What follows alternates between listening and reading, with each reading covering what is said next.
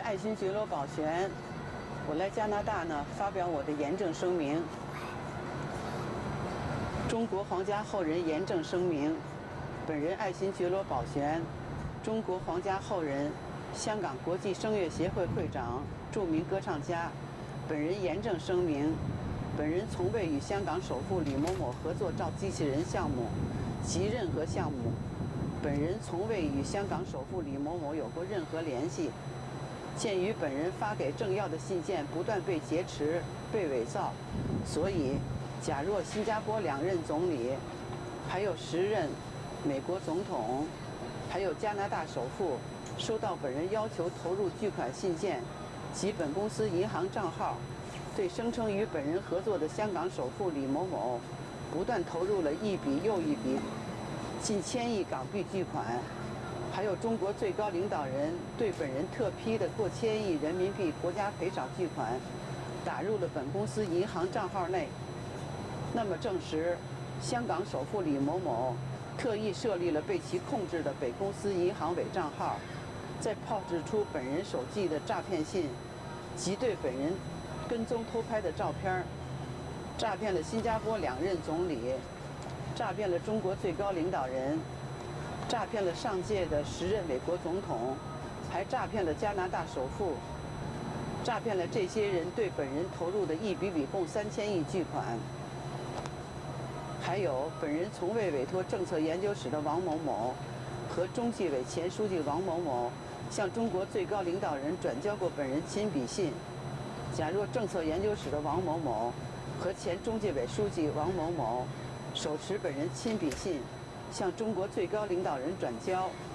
那么证实此二王伪造出本人手寄信，为所欲为的欺骗诈骗了中国最高领导人。综以上的诈骗罪恶，本人只能被迫作出此声明。本人只强烈要求，通过本声明，使被诈骗的苦主政要们及早知道被诈骗真相，全力追回被诈骗的一笔笔巨款。二零一八年三月十四日。保全，为了防止有人上当受骗，我向大家展示一下我的真的银行账号。如果大家有什么疑问，请联系我的加拿大电话：六零四七二幺六三八八。我的下面我展示我的文字稿。